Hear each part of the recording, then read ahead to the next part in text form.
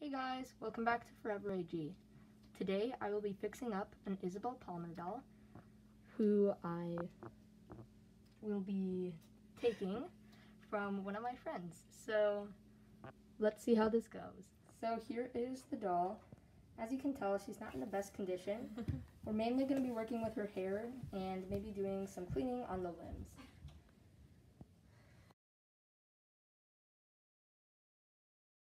So here I have her all set up and we're gonna get started.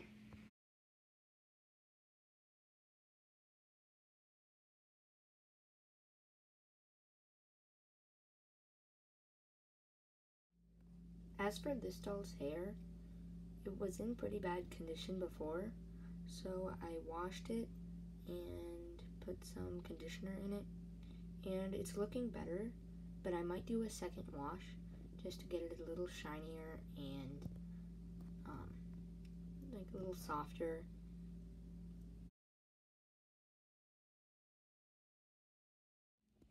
So here's my setup.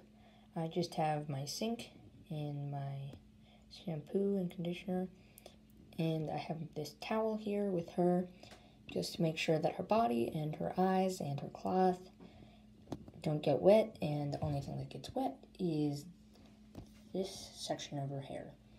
Remember never to get it too close to the top of her head because the wig is glued down and you don't want to loosen the glue with water. So yeah, I'm going to get started. So I'm just going to very quickly demonstrate my process. And so basically I just take this much of the hair, making sure not to get too close to the scalp. And just kind of dunk it in there. Get it nice and wet. Make sure the doll does not fall in because that would not be good.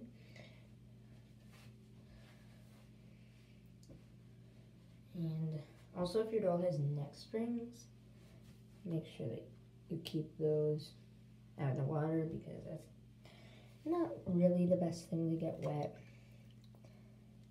Not like anything bad will happen, it's just you don't want an extra wetness thing to worry about. Alright, so after that section of hair is completely wet, then you're going to take whatever shampoo or conditioner you're using. And it's best to use like a baby shampoo or, or something that's made for wigs or anything like that just works a little better. You're just going to take the hair out of the water and just rub it in like so.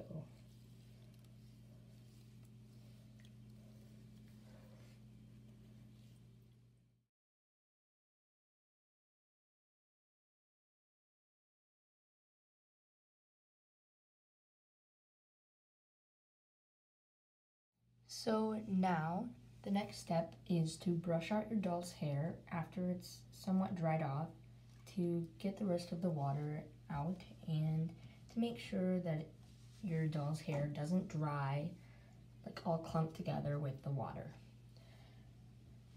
So this process can take anywhere from 5 to 15 minutes.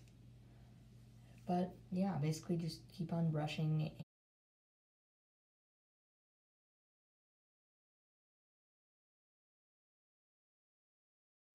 And if there's too much conditioner left over that didn't get washed out, like that just happened, you may want to um, wash it again to make sure that all of the conditioner or shampoo is thoroughly washed out so that it does not stay in your doll's hair for very long.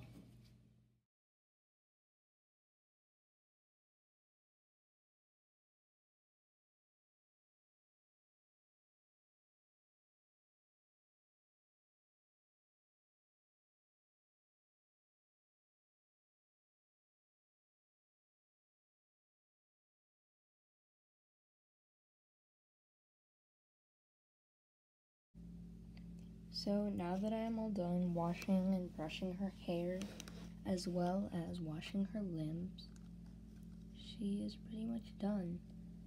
And she's not completely perfect because when she came to me, she was missing a lot of hair since she had been in a loving home for seven years.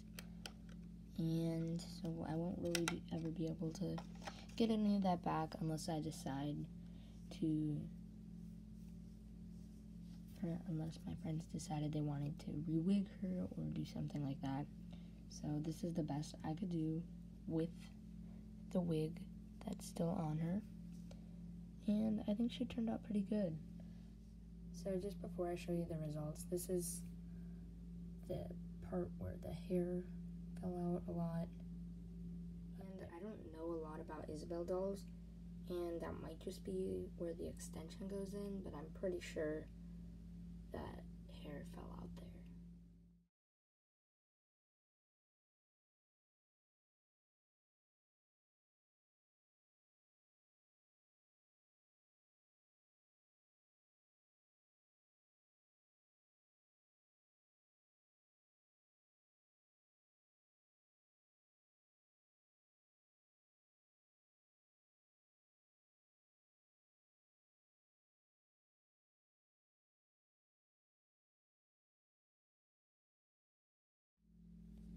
So, out of the things that I needed to fix today, um, she didn't have very many like marks on her.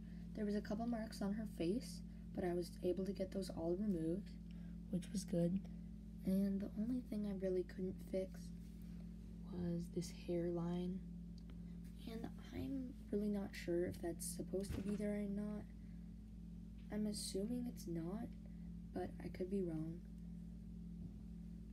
And yeah, I'll show you the back of her hair. Okay, so as for the back of her hair, I was able to tame it down quite a bit, and it's pretty smooth now. The only thing with the hair is, as you can kind of tell, there are these little curly things in her hair, which are the result of brushing through tangles. Most of the time, it appears towards the bottom but it kind of has appeared throughout, and that's probably just because she has been in loving hands for over seven years now,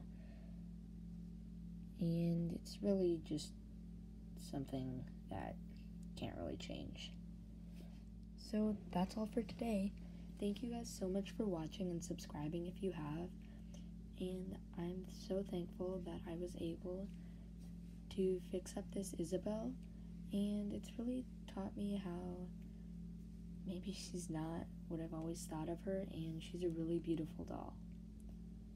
So, thank you for watching, and I'll see you next time on Forever AG.